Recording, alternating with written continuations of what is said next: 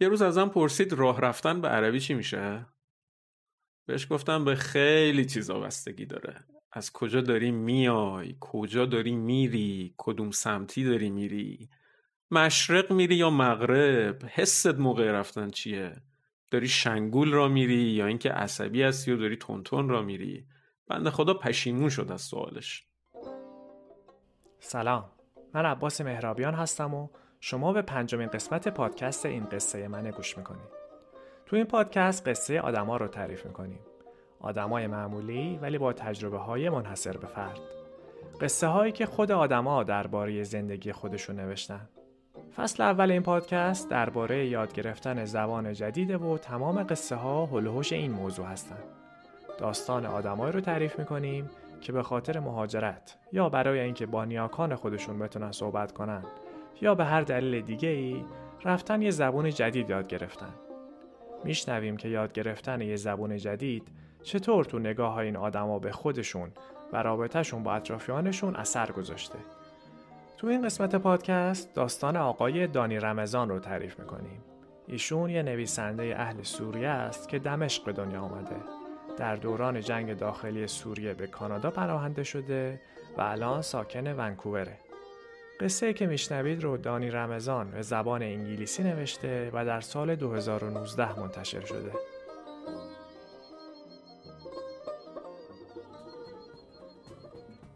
این قصه منه. ساعت یک نصف شب و خیلی خستم. متیو سه چهار تا مهمونی که هنوز نرفتن تو اتاق پذیرایی دارن میخندن و خندشون لبخند میاره رو لبای من. کنترل از راه دور اسپیکر رو بر میدارم و صدای آهنگ و یواش یواش کم می‌کنم تا اینکه صدای خواننده دیگه تقریبا شنیده نمیشه یکی از مهمونا باز تکیلا می‌خواد منم بطری رو تو یکی از کابینتا قایم می‌کنم و علکی میگم که تکیلا تموم شده. نگرانم همسایه ها شاکی بشن. امشب کلی سر و صدا کردیم و دیگه دیر وقته. متیو میاد تو آشپزخونه بغلم می‌کنه. در گوشم میگه مرسی که برام تولد گرفتی. دارم گیلاسای شراب رو میشورم. بهش میگم این چه حرفیه عزیزم. من دوستت دارم. خوشحالی تو برا من یه دنیا ارزش داره. هیچی نمیگه. منم بهش نگاه می‌کنم و کیف می‌کنم. زل زده به هم نگاه می‌کنه. فکر کنم یه خورده رومانتیک شده. برمیگرده به هم میگه عشقم حسابی مستی ها. داری با هم عربی حرف می‌زنی. تازه می‌فهمم اوزام خرابه و اصلا حواسم نیست. ساعت سه و نیم نصف شبه. باد زمستونی داره مثل گرگ اون بیرون زوزه می‌کشه. از خواب میپرم. داشتم کابوس می‌دیدم. کابوس یه خاطره خیلی وحشتناک. به خودم میگم چیزی نیست. چیزی نیست. به چیزهای خوب فکر کن. فکرهای مثبت. وقتی اون خاطره میاد تو ذهنم دیگه نمی‌تونم بدنم رو حس کنم. انگار بختک افتاده باشه روم. فقط می‌تونم عضلات گرفته پشت گردنم رو حس کنم. می‌خوام گردنم رو بمالم اما دستام رو نمی‌تونم تکون بدم. متیو می‌پرسه خوبی؟ جواب نمیدم فقط ناله می‌کنم. بلند میشه شروع می‌کنه پشت گردنم و ماساژ دادن. آخی چه حس خوبیه. حرفای قشنگ به هم می‌زنه. حرفای آرامش بخش. صدا شیرینه میشینه به جونم. اما هرچی زور می‌زنم نمی‌فهمم چی داره به انگلیسی به هم میگه. مغزم اصلا کار نمی‌کنه. قفل کرده.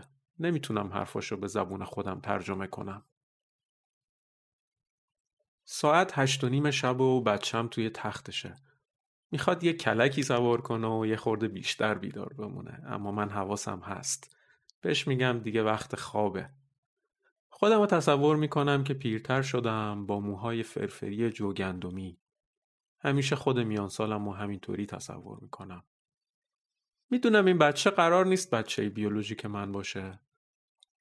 به بچم که هنوز به دنیا نیومده قول دادم تروماهای خودم رو بهش منتقل نکنم.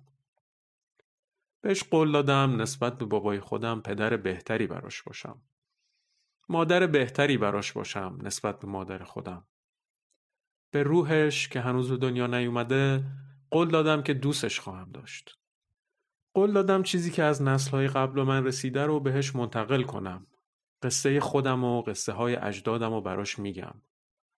بچه من مثل من یه آشوری میشه. مثل من عربی صحبت می‌کنه. بهش قول دادم بهش بگم که از کدوم ولایته. از چه نژادیه. اون بچه یه دورگه قشنگ میشه که به خونواده مدرن ما خیلی میاد. تو ذهنم تصور می‌کنم که کتاب کلیله و دمنه رو از کتابخونه در میارم و دارم براش می‌خونم. به زبون عربی با همین صدای آروم خودم.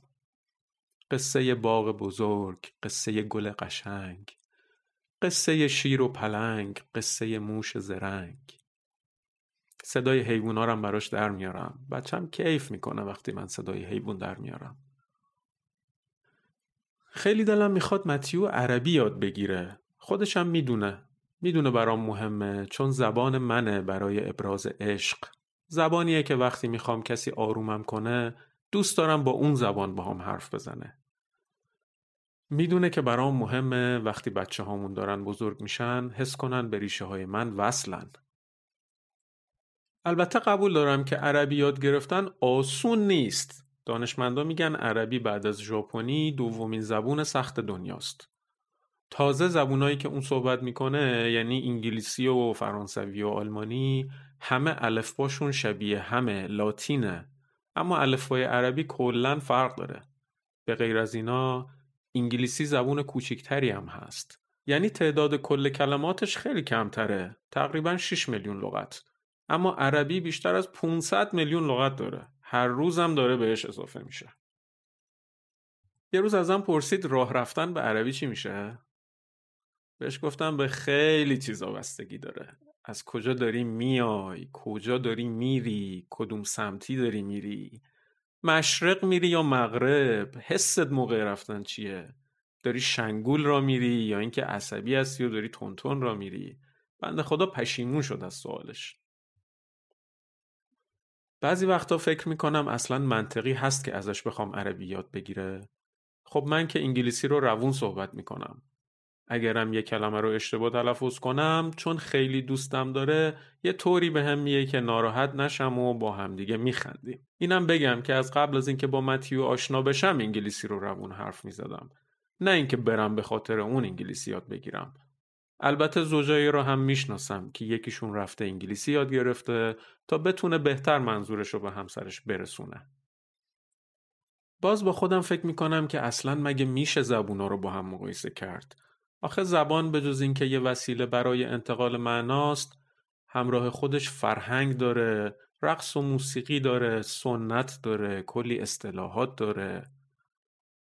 حتی صدای من وقتی انگلیسی صحبت می‌کنم با وقتی عربی صحبت می‌کنم فرق می‌کنه. انگلیسی زبان تو دماغی با صداهای زیرتر. اما عربی زبان حلقیه. صداهای زمختری داره مثل ر و خ خلتی. اصطلاحات این دو زبون هم خیلی با هم فرق دارن. مثلا یه چیزی که برای من جالبه اینه که وقتی کسی داره کیف می‌کنه اگه عرب باشه میگه دلش داره به یخ تبدیل میشه. اما یه انگلیسی زبان میگه از شادی دلش گرم میشه. دوتا اصطلاحی که به ظاهر کاملا متضاد همن. ولی اگه خوب بهشون فکر کنیم می‌تونیم بفهمیم مردمی که اونا رو استفاده می‌کنن چه جور مردمی هستن.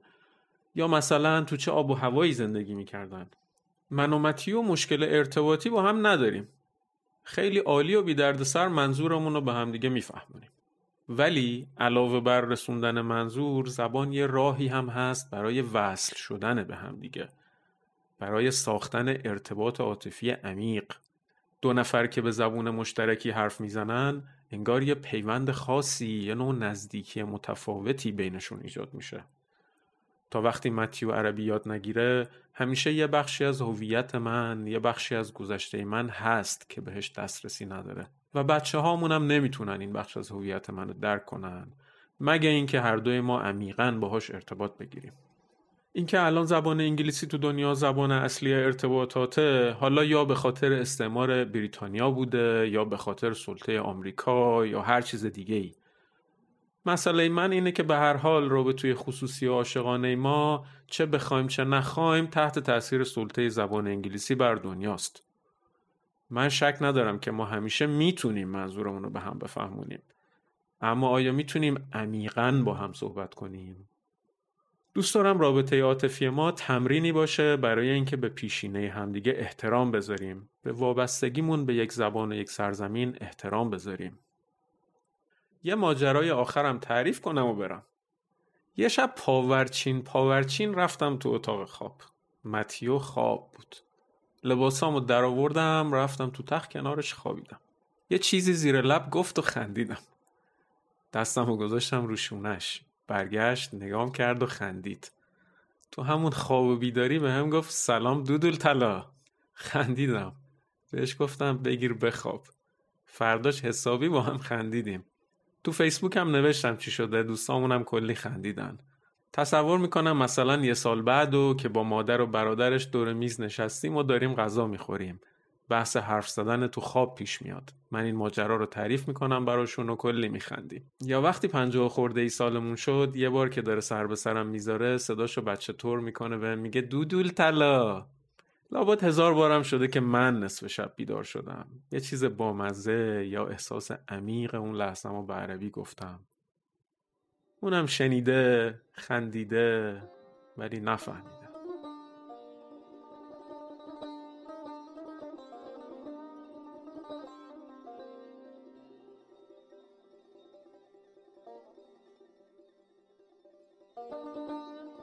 این بود داستان دانی رمضان نویسنده سوری ساکن کانادا.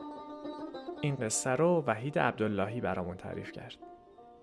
و این بود قسمت پنجم از پادکست این قصه منه آهنگ این قسمت رو ابراهیم پوستینچی ساخته پادکست این قصه منه رو می‌تونید تو تمام اپلیکیشن های پادکست، تلگرام یا وبسایت پادکست گوش کنید. اگه دوستش داشتین اونو به دوستاتون هم معرفی کنید. این پادکست وقتی داره ضبط میشه که یه جنگ جدید توی دنیا شروع شده این بار تو کشور اوکراین به نظر من جنگ بدترین راه برای حل کردن اختلافاته و امیدوارم روزی به جای برسیم که کلمه جنگ اصلا در لغتنامه وجود نداشته باشه. تا قصه بعدی مراقب سلامت جسم و جانتون باشین و خدا نگهدار.